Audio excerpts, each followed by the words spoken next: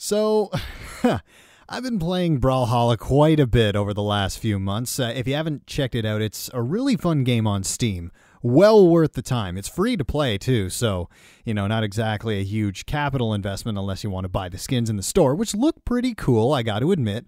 But aside from that, it's uh, it's a really competitive multiplayer game and I'm okay with competitive multiplayer. I really prefer when it's a team based game, like where everybody is working together to achieve a common goal. Those are the ones that I do better in. Games like ah, Killing Floor, let's say. That's the first one that comes to mind. Oh, Left 4 Dead. There's another one where, for the most part, unless you're playing versus or some sort of custom game, everyone's working together to get to the end, to reach the goal and work together to achieve it. I like that, especially when I'm playing a support class, because that just seems to be where I really excel. I'm good at that. And, and I like, not that I don't like being in the thick of the action, but I find it's better when I'm coordinating and assisting. And just by proxy of being in that role, I end up contributing so much more than if I was just being like a bruiser or a tank or whatever descriptor you want to put in that blank space. But anyway, been playing Brawlhalla quite a bit. And it gave me the idea for this episode because you know, it's when you first start playing any game that you've never played before, sometimes you'll get lucky and you'll just have an affinity for it. All the controls make sense. Uh, you just you click right away and you're good at it. And sometimes it takes a little bit longer. Sometimes you're going to play the game like 50 times and you are going to suck every single time. But eventually, you start to get a hold of it. You start to find a groove or a character or a style that you prefer, and you tailor your gameplay to that, and it starts to work for you. And, huh. I'm sorry, I'm just I'm, I'm thinking again about Brawlhalla, where there are a lot of different characters. They have similar moves, but each one handles a little bit differently. And the ones that I find I really enjoy are fast characters. In most fighting games, that's what I enjoy. I like speed. And those kinds of characters are usually pretty soft. If they take too many hits, they're gone pretty quick. So you have to be fast and accurate. All this to say that when I first started playing Brawlhalla, I sucked. I was terrible at it. Even when I played with friends, they could beat me pretty easily. But over time, I started to get better, and then because I don't like to get my ass kicked by myself, I'll play with Andrew and we'll go into a match and sometimes it'll just be a absolute ground pound. It'll be a slaughter. We will wreck the other team. And not in a fun way. Like not that we're trying to be mean, but they can't tell that we're just, you know, doing this without any venom in it. But from where they're standing, we've just destroyed them and we're being dicks about it. But it's not that. It just happened to click really well. Maybe we were in a good mood. Maybe we caught them at a bad time and we just absolutely can them. And then the then the same thing will happen to us. And I think it's good that that happens in games because I mean, mind you, sometimes you can have a bad run and lose like 5 games in a row and just be mad, fuming, just finding new combinations of swear words that people never even considered before. Maybe I should do a, uh, one of these episodes on game rage. That would be interesting, but I digress.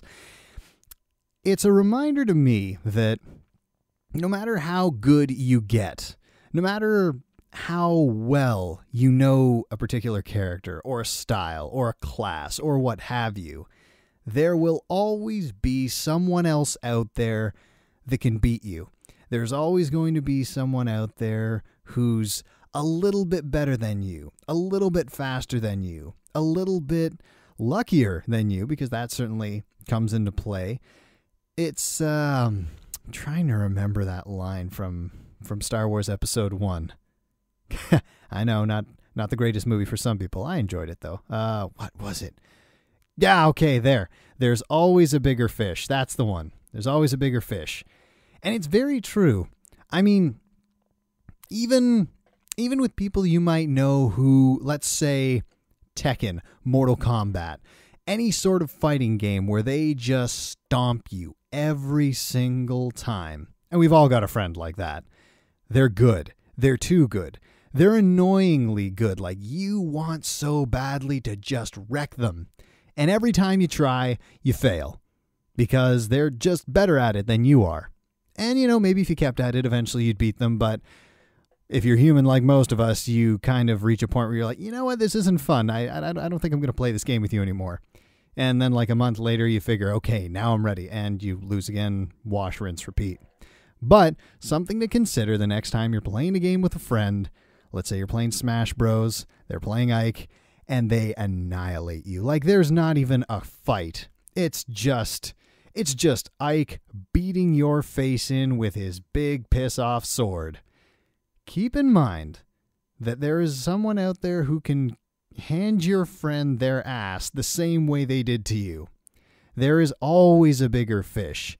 And for all the players out there who are really good, who don't lose that often, and who have never run into this person yet, if they keep playing the game, law of averages, I'd say, eventually they will. And I think it's good that there is always someone out there. Whether or not they're beating them with skill or they just happen to get lucky, I think it's a very humbling experience so that, like, as good as you are, as skilled as you are, as much as you master one kind of game, eventually, if you keep playing it at some point, you are going to lose. And I think that's something to keep in mind whenever you're in the deepest pits of game rage because you have just lost for the 12th time to the same guy and you're just wondering, why do I even try? Keep that in mind. That, again, no matter how grim it seems, how bad you lost, or how many times he's just canned you, there is always a bigger fish. Anyway, hope you guys enjoyed this episode. Uh, share your thoughts, share your comments. I'd, I'd like to know honestly, I'd like to hear some people's stories about times when they've just been destroyed or times when they've had a really good winning streak. Let's let's have some uplifting ones too, not just war stories about how badly you lost playing I don't know, Overwatch or something like that. In any case, I hope you enjoyed it. Uh, if you do, share it, uh, like it if you want to, and until the next time, I'm Ry. Take care of yourselves.